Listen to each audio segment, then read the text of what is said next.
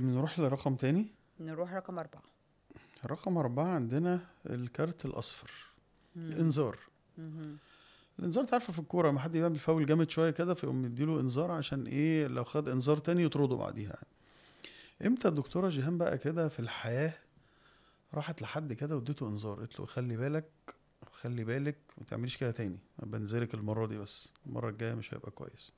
بص أنا من الناس اللي دايما بتطلع إنذار على فكرة بس يعني- يعني إنذار إنذار هادي. زي الحكام عندنا في في كده لا، حكام إيديها على الإنذار على طول. إنذار آه، يعني ما هقول لك أنا بدي دايما إنذار بس بدي مبرر جنبه.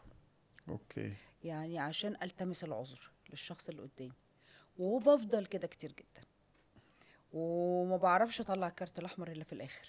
مم. والكارت الأحمر بالنسبة لي بيبقى خلاص النهاية لو أنت مش هتشوف وشي تاني. ما ده أكيد. موضوع منتهي. لكن الإنذار طب مين اديتي له إنذار كده قبل كده يعني؟ آه، في- آه. موضوع كده قلت له يعني خلي بالك الموضوع ده ما يحصلش تاني.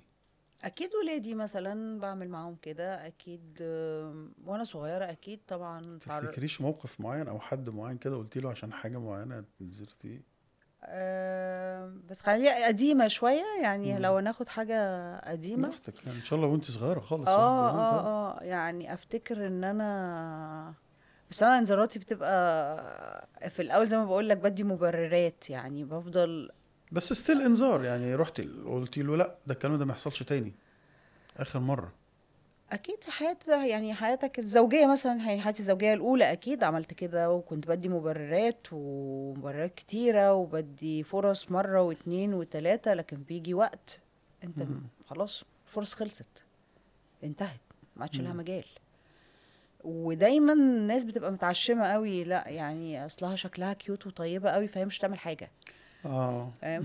لكن فبيبقى عنده أمل إن لأ ده هي بتتكلم وبس بيبقى عنده الموضوع مش آه. مش متخيل إن الشخصية الطيبة ال... طيب ما خلينا ناخد بقى من الانذار عندنا الكارت الأحمر الكارت الأحمر رقم ستة. إمتى بقى؟ طب طردتي حد من حياتك تماما بقى. أو طردتي على فكرة ممكن يبقى طرد فكرة. يعني الواحد ساعات بيبقى آه، فكرة معينة تمكنت منه لفترة مثلا ولا حاجة أو كان مقتنع بيها وفجأة لأ. طرد الفكرة دي أو طرد بني آدم من حياته يعني لا طردت بني آدم أو بني اتنين في حياتي طردتهم كانوا محل ثقة كبيرة جدا بالنسبة لي لكن الاتنين خذلوني أصدقاء آه الاتنين. خذلوني يعني واحدة وواحد. للخذلان شيء صعب جدا على فكرة مم. والجرح من الأصحاب بيبقى من القريب بتبقى. صعبة شوية طبعا طبعا لأن أنت اديته الثقة.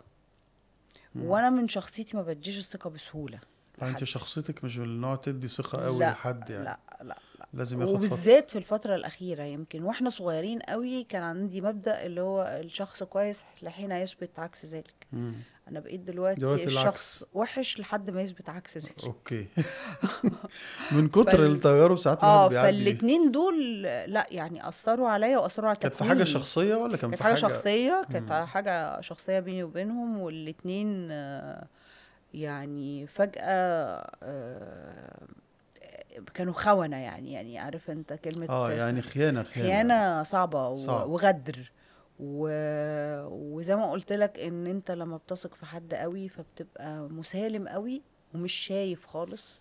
مم. وعندك آه، مدي ثقة. ضلال يعني مدي يعني ثقة آه آه انت أنت. متضلل.